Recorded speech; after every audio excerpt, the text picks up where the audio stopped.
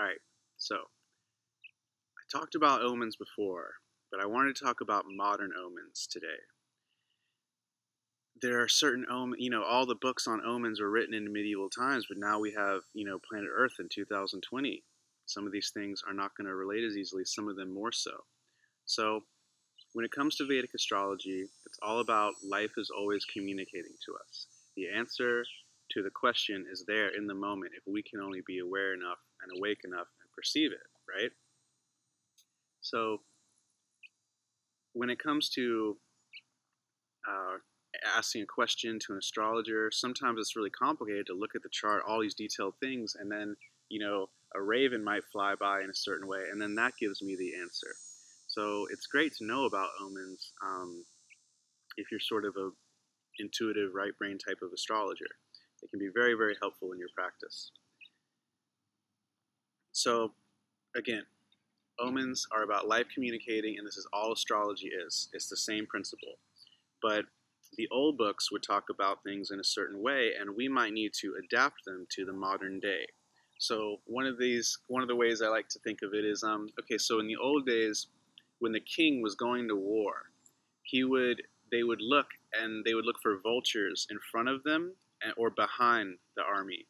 And if there were vultures appearing in front of the king's army, then that meant that the king was going to win the war because the vultures feed on the dead in front of you. If the vulture was behind you and you saw vultures picking on things and flying around behind you, that meant the king was going to lose the war or lose the battle. So, is that really something we can interpret well nowadays or not? Well, honestly, I've actually found this to work really well and vultures actually still tend to fly around interstates and roads, at least in the Amer- in the United States, because they'll always be they're the only things that take care of the roadkill and things that get killed by the side of the road. So you can actually find that this can be the case too if you're going to some competition or if you're going to not necessarily a war, but say a skateboarding competition or a something where you need to contend against someone else. You're going to a court appearance and you see the vultures behind you it's not looking good for you. You see them in front of you, it's looking good for you or your company. Another really funny way to interpret this is in the modern day world, at least in the United States, you see police sirens. So police sirens in front of you mean you're okay. Most likely it's your opponent that's going to be in danger as you go to this battle. Remember, omens only count for what you're thinking about at the moment. So if you just see police sirens, don't freak out. But if you're deeply and emotionally attached to an outcome of something and you're thinking about it and then you see the sirens, this is when you want to interpret this.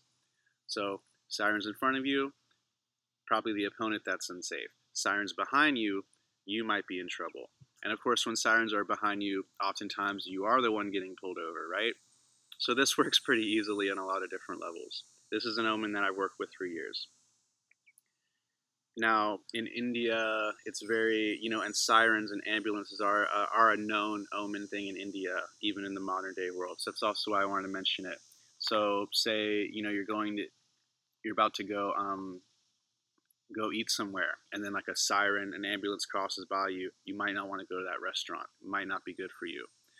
Um, or say you're worried if you're sick with with something with a virus and you're about to go to the doctor and you see an inauspicious alarm like that, you might not want to even go to that doctor. It might mean that you're going to get something worse as a result of that. Um, so this is kind of how we can use omens and, and everything.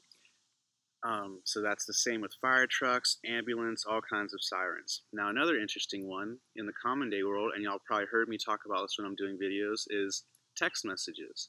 How often I've had where I've had a important moment where I've been explaining something to someone in reading and then I'm not sure if they get the message, and then ding, I get a text message, and I know that they got the message, or I know that they understood it, and then, or even when I'm giving an MP3 recording, I won't hear back for a week what the feedback is.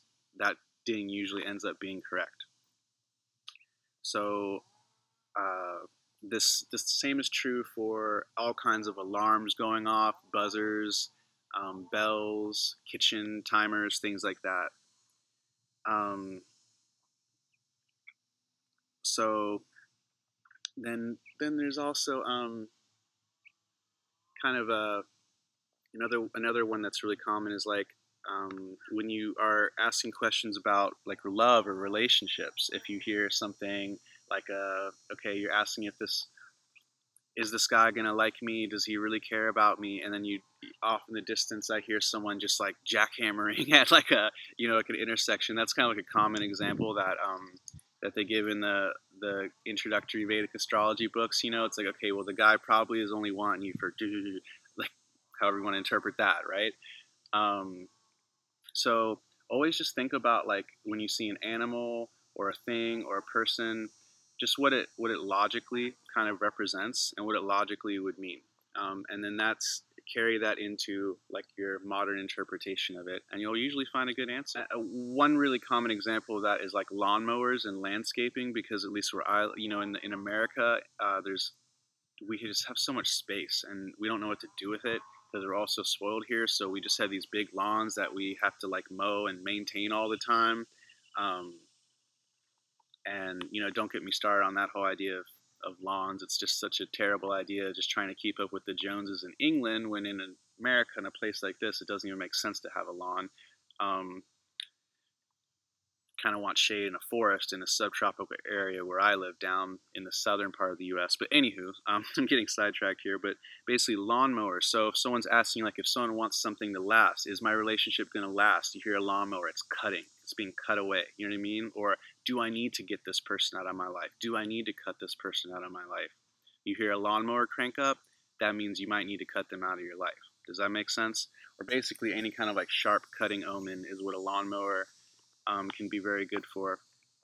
Um, and then another thing is like, okay, in the same way it's like on the way to a battle. Well, if you see like really good omens on the way to a job interview or a or a big event, that's obviously going to be you know a good sign. For example, there have been times when I've been on the way to go surfing, and with surfing, you just never know how it's going to be. It could be like the most amazing experience of your life, or you could get, you know, break a bone or something, you know. And um, there have been times when I would see like a a hansa, like a white uh, heron or swan, you know, uh, the vehicle of Varuna, the god of, um, I'm sorry, not Varuna, um, Brahma. Anyways, you'd see like a beautiful hansa or swan or a water-related bird. Um, it does have some relation to Varuna. I'm forgetting right now, but anyways, uh, you would see a water bird, and then that would be indicating grace in the water, right? Because a swan moves so gracefully in the water.